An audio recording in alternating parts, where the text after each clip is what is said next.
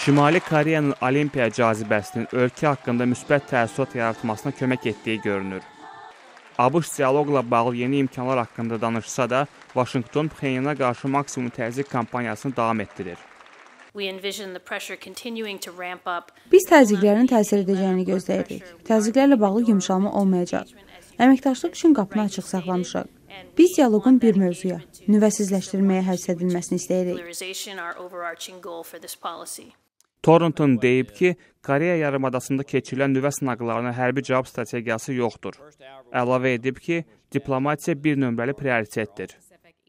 Dövlət Departamenti deyir ki, nüvə aqressiyasını dayandırmaq və danışıqlara cəlb olunmaq Şimali Koreyadan asılıdır.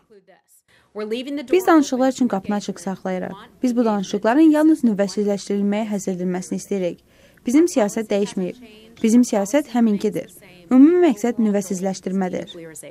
Vaşinqton rejim dəyişikliyi haqqında danışmasa da, təhlilçilər deyir ki, ABŞ Çin ilə mümkün münaqişə ssenariləri haqqında müzakirə aparmasına ehtiyac duyur. Çin ilə danışmaq istəməyimizin səbəblərdən biri odur ki, Şimali Koreyanın sınaq üçün istifadə etdiyi sahələrin bəziləri Çin sərhədi yaxınlığında təxminən 100 kilometrliyindədir.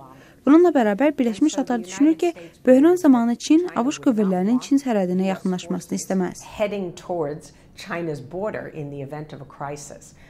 Bir həftə öncə yüksək vəzifəli Çin diplomatı ABŞ dövlət katibi Rex Tillerson əmin etdi ki, Pekin Şimali Koreyanın nüvə silahı proqramına son qoyması üçün təzyiqləri həyata keçirilməsinə sadiqdir.